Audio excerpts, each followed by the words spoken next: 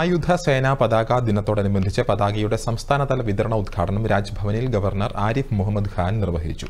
N C C കേഡറ്റുകളിൽ നിന്നും പതാക സ്വീകരിച്ചുകൊണ്ടാണ് governor ഉദ്ഘാടനം നിർവഹിച്ചത്. സൈനിക ക്ഷേമ വകുപ്പ് director retired captain Vinod Mathew സന്നിഹിതനായിരുന്നു. പതാക ദിനമായ നാളെ വിപുലമായ പരിപാടികളാണ് സംസ്ഥാനത്ത് സംഘടിപ്പിച്ചിരിക്കുന്നത്. എല്ലാ ജില്ലകളിലെയും കളക്ടർമാർക്ക് എൻ സി സി കേഡറ്റുകൾ നാളെ ഫ്ളാഗുകൾ കൈമാറും. on the 7th of December every year. To pay our profound homage to the martyrs who sacrificed their lives for preserving the freedom, integrity, and unity of the nation.